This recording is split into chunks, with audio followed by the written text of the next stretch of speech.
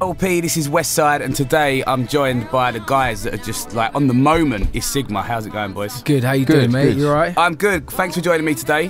Thanks for having us. Um, first of all, I know we're going to talk about brand new single featuring Paloma Faith, but I just need to thank you for bringing us your big tune, bringing it to the world. Nobody to love. It's Oh, mate. just ridiculous how big that tune is. glad, glad you like it, man. You know, you know, you know, it's one of them tunes. It's just, it's just never going to end. Years to come, it's still going to be pumping. You know, your DJs look forward to playing just to drop that tune at the end of the night when it, people go crazy. So. Are we going to be one of those annoying acts that like end up saying we hate it?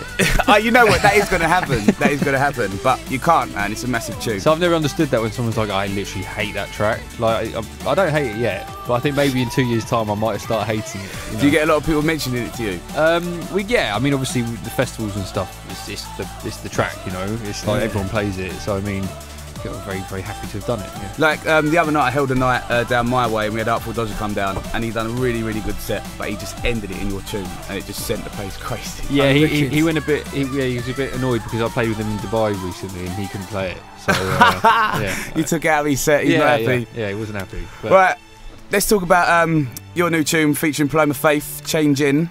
Uh, 40th of September, it's out, right? that's Yep, right. yep. Yeah. Uh, tell us a bit about the single. I know it's co-written as well by Ella Eyre, is that right? Yeah, that's right. Yeah, it was originally just a demo that we kind of put together with a bunch of guys from West London, actually called TMS.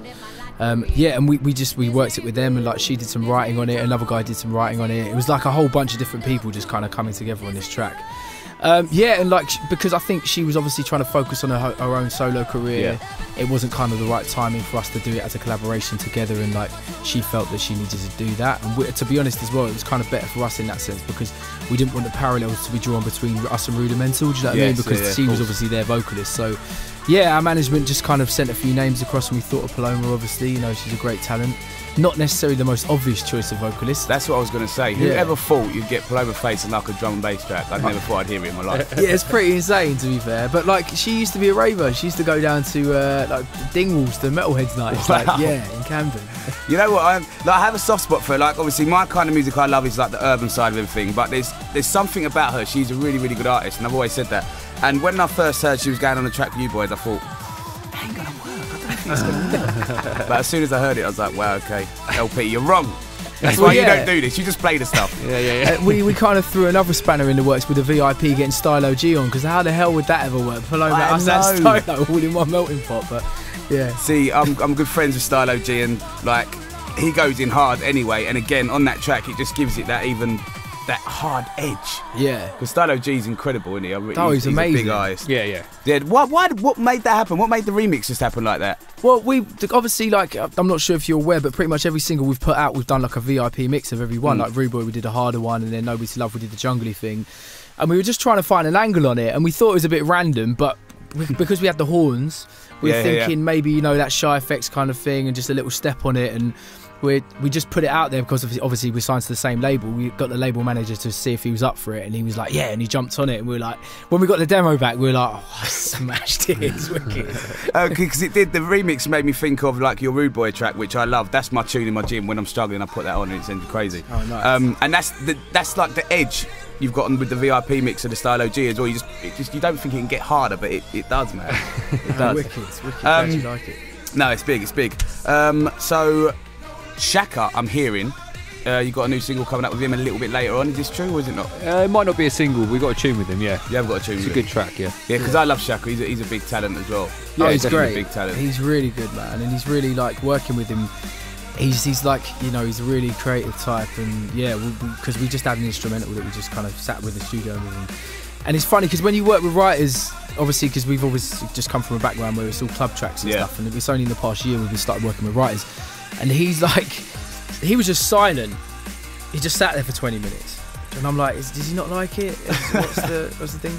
And then suddenly he's like, yeah, I've got it. Just steps up to the mic and he just, I was like, oh, we, haven't heard it yet, so yeah. Oh, really? But it was, um, it's, He it is, he, is incredible, and he, he's got some mad energy as well, isn't he? Mm. When I've interviewed him a couple of times, somehow he turns the interview around and he's interviewing me, and I'm like speechless. I don't even know what to say. Do you know what I mean? Yeah, he's de- he's definitely a full of beans. That one. Yeah.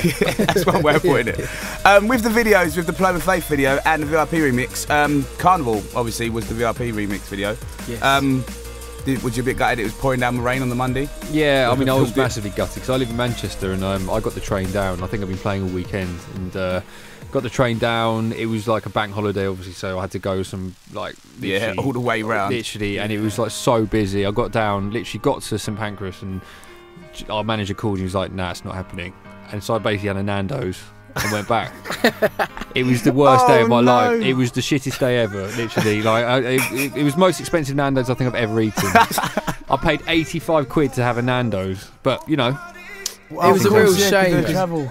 Well, yeah, I think the video that they filmed as well. It was supposed to be taken at the because we were playing at the Digital Soundboy stage. Yeah, yeah. and it was supposed to be footage of our set and obviously Stylo coming on and doing it but like obviously because it got rained off like we couldn't so It's a shame, man. yeah, a You need you need to step up to Nando's and tell them you want your black cards now. we got one Oh, you got one. there you go then. There you go, sorted. Because I wouldn't be having that.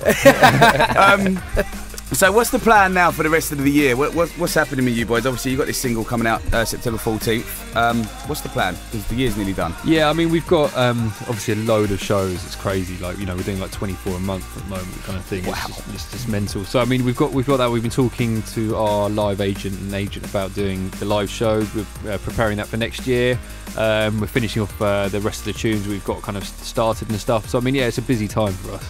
Um, and to be fair, you are like, you must be wanted everywhere at the minute because you guys are on top. Is there anyone out there which you want to work with before your career is done? Like, you know, you definitely, definitely want to work with America or anywhere? well usually it's obviously like the US artists that you know they're, they're the big people that can kind of get you the Yeah. get you the spots that you might want to play at you know internationally and obviously like we, we come from like a background where we love we love hip hop US hip hop and stuff so it'd be great to get one of the old like maybe someone like Nas or something that'd be sick you Yeah, know I mean? be not saying that would ever happen but you know that'd be great You could get like a Nas and a Damian Marley, like a refix with your with your sort of work. I think that. yeah that yeah, could, that'd that be could be wicked yeah That'd be mad. that's a good Yeah. idea we'll put the call in Put the, we're, we're getting sorted. Yeah, yeah. Um, so um, let's do. I've got some quick questions for you. They're only just a bit of fun and random bits.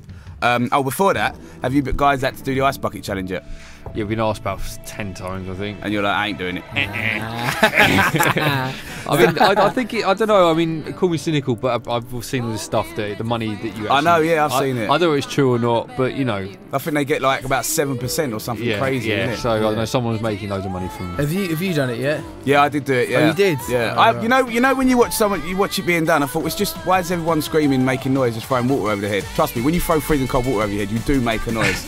Yeah I bet it's pretty painful I Was it Lemar that asked us? Lemar. Oh yeah, Lemar and one of the guys from the Wanted randomly. I don't know where that even came from. Like, yeah. just from nowhere. yeah. Yeah. You're like, no, boys, just leave it to you. Like, you're all right. Yeah, yeah. Um, right, yeah, it's just some quick random questions, just for a bit of fun. Um, party hard or stay in and chill out? Usually stay and chill out to be honest, because our schedule's so hectic You're so busy in a minute. we're out at clubs most nights of the week. We know what I mean? sometimes So party hard when we play. You know. Yeah, yeah. That's. Sometimes Um, cars or bikes? cars. Cars. Um, I don't know if you support one of these teams. Hopefully, you pick the right one. Arsenal or Tottenham? Couldn't, couldn't care Yeah, less. that's really- Two pack or biggie? Biggie all day. Yeah, big, Big yeah. Um, home cooking or takeout? Uh, I say takeout these days. I used to be home cooking, but we're never at home, so Hey, Yeah. can you guys cook yourself or not? yeah. Cam's pretty good, yeah. I can make a blinding poached egg. Do you know what? They're quite hard to make, though. To be fair, poached eggs. Yeah. Um, Celebrity Big Brother or I'm a Celebrity Get Me Out of Here. If you had to go in one of the shows, which one would it be? Definitely not Celebrity Big Brother. What about the eating the maggots and I'd stuff? rather I'd rather do that than be on the other program with that Rylan dude. That is totally true. I'd rather go in the jungle with all the bugs in the world than go somewhere with Rylan. Yeah, yeah. There you go. Um, so your partner, girlfriend, or whatever, um, you're about to go out to a big event on the red carpet. She's wearing something you really don't like. Do you tell her and risk her like having a hump with you and giving you a little slap, but you just say, "You look gorgeous, darling. Come with me." This Definitely tell her. I like that. Depends on how He bad. looks She, smart. He's like, I ain't telling no one. depends on how bad she looks. Bad. I mean, like, she always she always looks good. ah, that's it. That's it, She's yeah. listening. You've pulled it. Um, Beyonce or Rihanna? Rihanna, Rihanna, yeah. definitely. And most important question so far, and the last one: Do you like Marmite? Yes. Love it. Really? Yes. Yeah. I'm more of a Bovril man actually. Really? Yeah. So I'm doing this test because the, the saying is you either love it or hate it. And I hate it, this is why I'm asking everyone. And everyone does seem to love it or hate it. Yeah. I've never had someone go, it's all right. Yeah, yeah, yeah. No, I like. Yeah, it's true. It's quite a strong flavour, isn't it? Yeah. Yeah, yeah. What is there to not like about it? Oh, it's just horrible. Just the I even struggle eating a twiglet. Yeah, I, I don't really like Twiglets, but I think on a nice slice of white toast with a nice bit of butter there as well. I've only had it on bread. I'll try it on toast. Yeah. You might have converted me. Um, right, just whoever's listening, can you let them know your Twitters, Facebooks, Instagrams, etc., where they can keep up to date with all your movement? We're, go on. Obviously, Uh, yeah, we're at um, at Sigma HQ on Twitter. It's forward slash Sigma HQ on Facebook, and our website is sigmahq.com. Um, just to go over it again, 40th of September, uh, Sigma Paloma Faith Changing is out. Um, obviously, people can just go and get it everywhere. yeah, yeah. Download it, iTunes. Let's get it up there. Guys, Get up thanks a in lot there. for joining me. Thanks Um, for having thanks us. Good having luck with the next single.